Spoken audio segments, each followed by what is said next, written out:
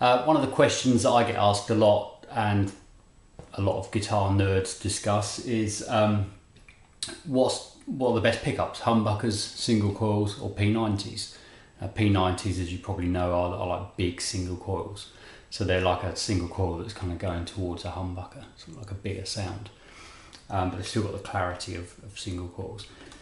So um, I play a lot of blues. I play lots of different stuff, but I, I always sort of gravitate back towards blues kind of stuff. So I thought I'd, I'll do a little video just comparing um, three of my my sort of favourite guitars that I've got, and comparing the sounds of the, the humbuckers, the P90s, the single coils, just over a blues backing track.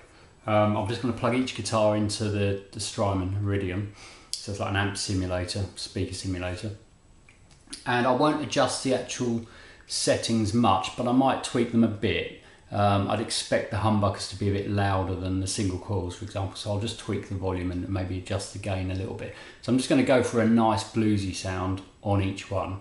Um, the guitars I'm using, this is a 335 Gibson humbuckers. This one's a 1987 one. Got a 1997 Music Man Albert Lee, which has got single coils. They're Seymour Duncan um, single coils that are designed for those guitars.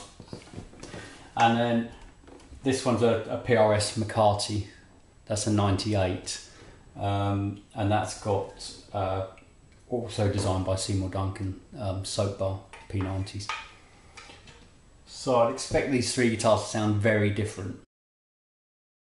Yeah, let me know what you think, and I, I'll be interested to, to hear the difference myself. So, uh, but yeah, let me know in the comments. Okay, thanks.